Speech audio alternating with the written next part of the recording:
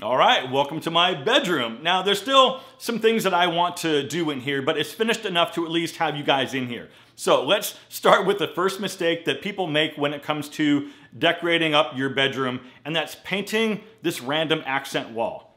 Remember to keep things simple. There's no need to paint one of the walls a different color just because you saw it in a magazine somewhere. But look, I get it. Accent walls can look pretty cool, but there needs to be more thought that goes into it besides just painting one of your walls green. If you do, however, want to paint an accent wall, also think about incorporating similar colors into your bedding and other areas of your room to enhance that wall and make it look more intentional. Otherwise, it's just this weird green wall for no reason.